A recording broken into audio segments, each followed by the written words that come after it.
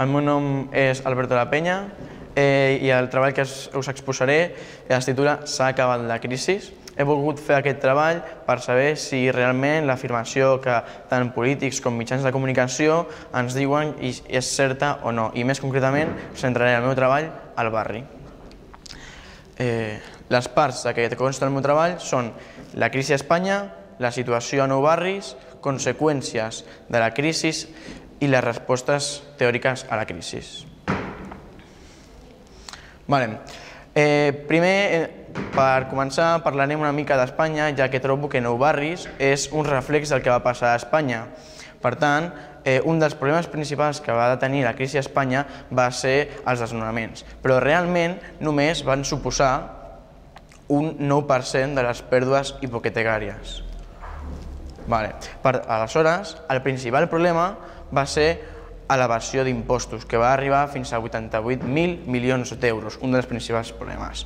Això eh, són, com són xifres molt grans, eh, vull dir que 20 habitants de 42 milions que viuen a Espanya tenen el 30% del PIB espanyol total. Això també es pot traduir a xifres més numèriques dient que aquestes 20 persones tenen 115.100 milions eh, d'euros. Per tant, això es pot traduir a una eh, molt fàcil eh, solució, que és una disminució dels drets socials. En aquesta diapositiva us vull ensenyar la portada que va sortir eh, el passat dimarts de, que destacava el títol Líders en desigualtat, ja que d'aquests 42 milions de persones que viuen a Espanya, un 29,2% del total es troben en exclusió social. I a més a més, 256 famílies es queden sense sostre cada dia. Vale. Ara passem a parlar més concretament del barri, del nostre barri, de Nou Barris. I per això vull destacar que nosaltres tenim la taxa d'atur més alta i la renda per càpita més baixa. I això com es pot mm, veure amb dades econòmiques? És fàcil.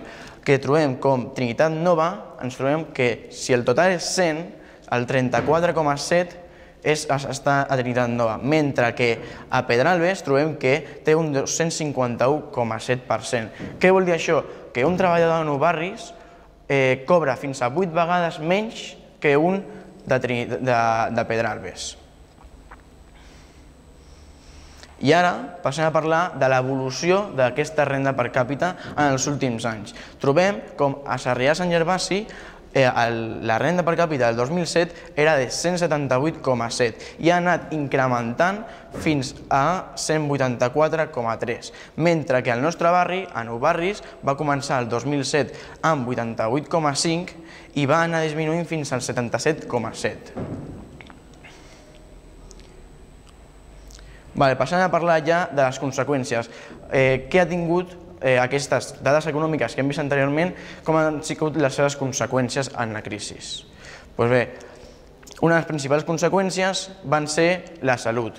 Eh, podem veure en aquest, en aquest gràfic, en aquests mapes, com eh, a major renda per càpita major esperança de vida. I com trobem que al nostre barri, a la zona de Trinitat Nova, on abans teníem menor renda per càpita, tenim una menor esperança de vida.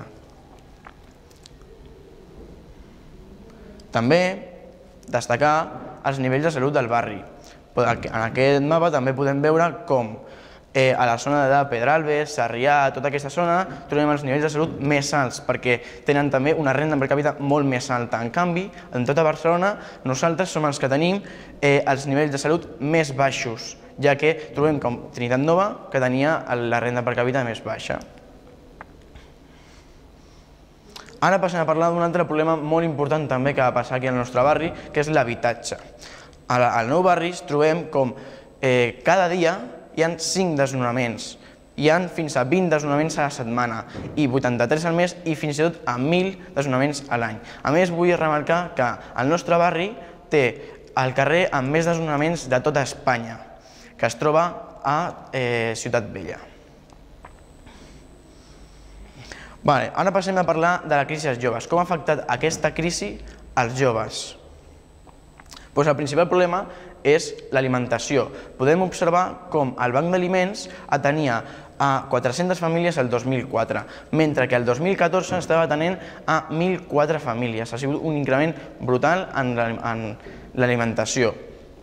Un altre problema que no és per res eh, independent, però, bastant, però molt important, és eh, el tema de com els joves eh, busquen maneres per financiar els seus estudis, ja que eh, davant la impossibilitat de trobar feina, de no poder pagar les tasses altes de la universitat, han de recorrir a altres mètodes.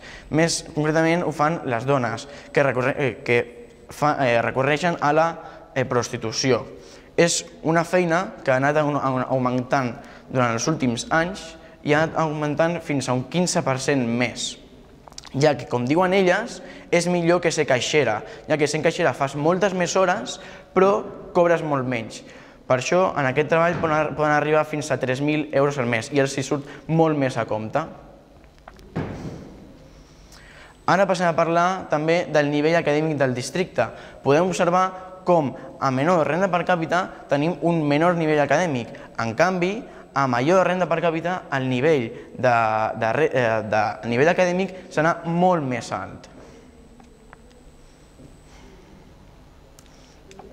Ara passem a parlar ja de les respostes històriques a la crisi. He estat entrevistant-me amb eh, regidor de Nou Barris, amb eh, associacions de veïns, eh, amb diferents persones del barri i hem pogut arribar a unes conclusions comunes, que són aquestes. La, la principal resposta teòrica a la crisi seria una major ocupació, falta molta ocupació al barri. Després, una, una altra és més transparència, més transparència en els comptes bancaris, que hi hagi més, més eh, transparència en, les, en els números de l'Estat. També un augment de recursos socials, seguit de recursos econòmics, per millorar aquesta situació que pateixen tantes famílies com l'alimentació o la salut. A més a més, també no tots, però gairebé tots, concorden en una renda mínima garantida i ja com terme general una major inversió pública en el, en el barri. Després passem a parlar de les conclusions. He començat el meu treball exposant una pregunta. S'ha acabat la crisi? Bé, la resposta és senzilla, és no perquè ens trobem davant d'una situació estructural, que no és qüestió de que no tinguis feina durant 3 mesos, 6 mesos, 2 anys, sinó ja que aquesta situació que tens ara, un pare amb 40 anys, passa als seus fills, i aquest als seus fills, i sempre serà així i sempre és una cosa rotatòria. Per tant, trobem que el nostre barri és un barri de subsistència. També és un barri dormitori, ja que sense ocupació no pots estar-hi gaire temps al barri perquè no tens feina. I a, a més a més, és un barri on falta molta ocupació. I ja també és un barri sense formació, com hem vist anteriorment, a menor renda per càpita, menor nivell d'estudis. Per tant, un barri sense formació que, si no tens formació, no pots, eh, no pots eh, intentar eh, tenir més ocupació, no pots aspirar a un, a un lloc de treball millor o un lloc de treball mínim. Vale, pues aquest és el meu treball i espero que us hagi agradat.